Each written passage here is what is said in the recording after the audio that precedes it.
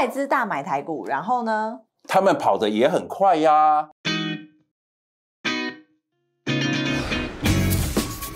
Hello，大家好，欢迎收看财经急诊室，我是千涵，今天欢迎华信投顾谢文恩分析师老师好。大家好。老师，昨天苹果跟高通的财报呢是表现不太好，对。那台股今天却是相对抗跌的，哦对。这是不是代表短线上还是可以偏多操作啊？好的，那么其实呢，如果说大家每天有锁定我们盘中的连线节目，在农历封关的之前哈，我就很清楚跟大家预告，每天主力心态都是个标标准多。结果果不其然呢，我们看到台北股市新春开红盘，一路涨到昨天，可是现在有一些所谓的怪现象。那问题为什么呢？我先。还是就整个极短线的部分跟大家做一个预测，就像我举个例子，先喊了我。在农历封关的时候，当然有跟很多亲戚朋友吃饭嘛。那结果呢？有大部分的亲戚朋友手中一定有二三三年的台积电。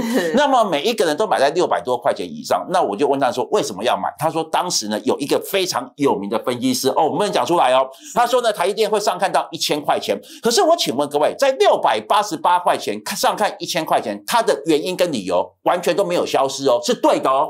可事实上，台积电又跌到到三百多块钱嘛。所以说，新的一年我是先给大家新的。的期许哦，做任何的事情，你要摸着石头过河，开始慢慢讲哦。那么今天呢，你可能认为台北股市出现往下下杀，最主要的原因是来自于苹果还有高通财报之外，它就未来的展望，我讲坦白也不是好到哪里去的。可是问题这一件事情，你当然可以等到今天才知道。可是呢，我记得呢，在昨天十二点零三分，我的非凡连线的时候，我很清楚的跟大家预告，我说主力心态它是由多转空，当时。台指期货的报价还在一万五千五百八十一点呢，结果到今天有没有摔下来？那问题为今天开低，它可以选择开低走高嘛？可是很抱歉哦，今天的主力心态它还是个标标准空。简而言之啊，从昨天的日盘到夜盘，夜盘就是往上急拉嘛，又急杀嘛，到夜盘到今天早上的开盘，主力心态全部都是个标准的空。所以说这是为什么我的投标，我很清楚跟大家预告，我说主力心态连续两天都是一个标标。准准的空，那重点来了。那么这一个空，我到底应该把它定义，它是个标准的主力做手获利调节，还是主力做手反手放空？这差很多哦，这差很多。哦。如果反手放空，我不能涨一千多点，反向跌一千多点吗？那重点就在于呢，我一再跟大家报告，我说主力做手的操作，它是架构在价格的观念，除了主力心态之外，麻烦这一张图卡帮我一定要截图哦。那简而言之呢，目前加权股价指数它的多方价都在一万五千四百六十九点，还有一万五千三百五十五点，什么样的概念？来，我慢慢讲。总共有两个。对，哎，千寒超厉害的，问出其中的答案。好，我请问各位啊，其实呢，不管做股票，不管做指数期货，我还是认为啦，你今天可以做最好的预期嘛。我今天买股票，明天就跳空涨停，反正我买的股票一定跳空涨停，反正我放空期货，期货一定每天大地震、大跌停。你可以这样猜嘛。而就我的夜水角度，我说我只看多空的夜水防守价。那么我请问各位，现在是多头还是空头？可能现在还有人在问说，小时现在看起来应该是一万八千点。跌到一万两千点，跌升的反弹，你可以定一下空头。可是我用一个最简单的 SOP，我的位阶是站在所有均线之上，那叫做多头，就是你们过去所学的嘛。那多头格局，我只看支撑。好，回答千寒的问题喽。为什么会出现两道支撑？我请问各位，我难道我不能礼拜一盘中，哦，可以快速急杀？可以啊，可以啊。可是你要清楚哦，清楚哦。礼拜一快速往下急杀，来到一万五千三百五十五点的话，你千万不要砍在阿呆股。比方说，我没跟你讲哦。是第二个逻辑来喽，一万五千四百六十九点什么意思？可是问题呢？好，我现在做预测喽。哎，我们现在才礼拜五的十一点，我们做到礼拜预测。我杀到三五五之后，我开始拉。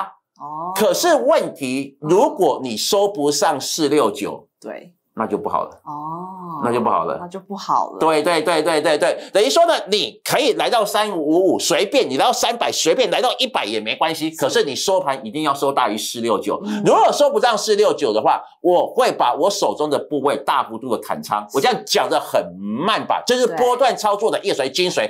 那你说呢？目前股票到底要选什么？那很简单嘛，去中化的夜水相关概念股，就像最近有很多跟我说小石啊，你仔细看那个位阶哈，为什么连电会？会比台积电来的强。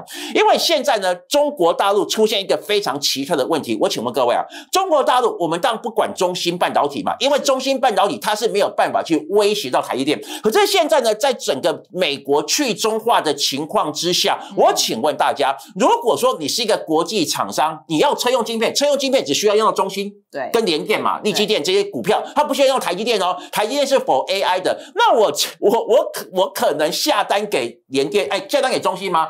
不太可能吧？到时候下单完之后是没有错，联哎中心的报价应该比联电至少少三分之一以上，而且性能差不多，对，好，它的良率差不多。那可是问题呢？那未来会不会出现既定的状况？所以这是为什么呢？我们看到联电的部分的话，出现急单，三大法人几乎每天都是站在一个所谓买方。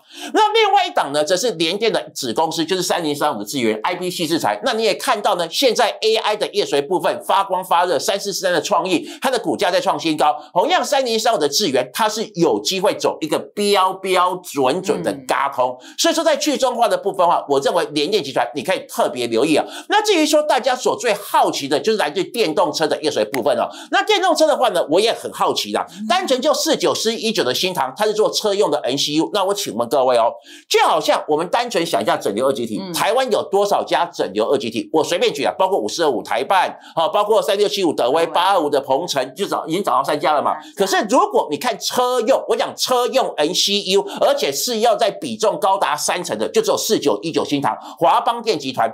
所以说，我认为啊，电动车的业水部分的话，我们还是要去选那一些具备领头羊的业水角度，不管包括二三二七的国巨，甚至包括四九一九新塘。尤其呢，你看一下国巨哦，五百多块钱的股价，它是非常高贵的，一般投资朋友可能不会去买。没错。那你可以发现呢，它的股价也很。横盘高达将近有七八个交易日，那横盘之后，只要五日移动平均线没有形成跌破之前，我认为在整个垂直整合效应发展的逻辑之下，国巨呀、新唐，甚至包括国巨集团的六二七的同性店，你们都可以特别留意。是，谢谢老师的分析。想要知道更多财经的最新消息，就要赶快加入老师的 Light 跟 Telegram 哦。财经急诊室，我们下次见，拜拜。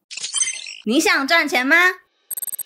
订阅理财周刊频道，十八位专家提供最快最多样的看法，从每天早上十点半到晚上十点，每三十分钟就有一档最新影音上架。你还在等什么？下个富豪就是你。